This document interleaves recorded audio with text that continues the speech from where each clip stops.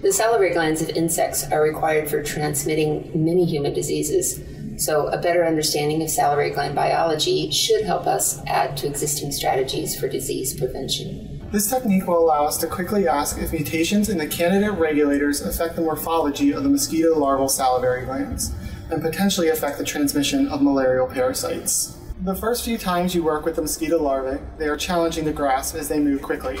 The more you practice, the better you get. Demonstrating the procedure will be Marisol Luchetti, an undergraduate research assistant from my laboratory. To start the experiment, place a putty plate on the stage of a dissecting microscope and transfer 10 mosquito L4 larvae onto the putty plate. Then place a drop of the dissection solution onto the putty plate, separate from the larvae. Use forceps to place one L4 larva into the dissection solution drop of 25% ethanol. By holding a number 5 forceps in each hand, grasp the larva with forceps just below the head with the dominant hand, and grip the head of the larva with the non dominant hand.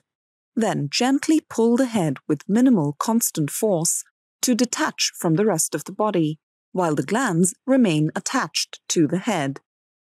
After discarding the body portion of the larva carcass, collect the head or salivary glands into 1 milliliter of PBS in a 1.5 milliliter microcentrifuge tube and wait for the salivary glands to sink to the bottom of the buffer.